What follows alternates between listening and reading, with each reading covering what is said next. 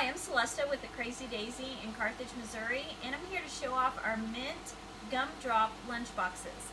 And we have all these different styles, the gingham, the blue for boys, the seersucker rainbow, and the pink, hot pink and zebra. It has an adjustable strap on top. It also has a clip where it detaches and then you can clip it to your backpack so you only have to carry one thing into school. Then it unzips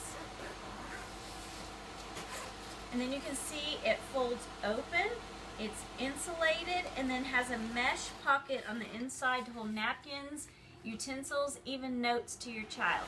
These are our mint gumdrop lunch boxes.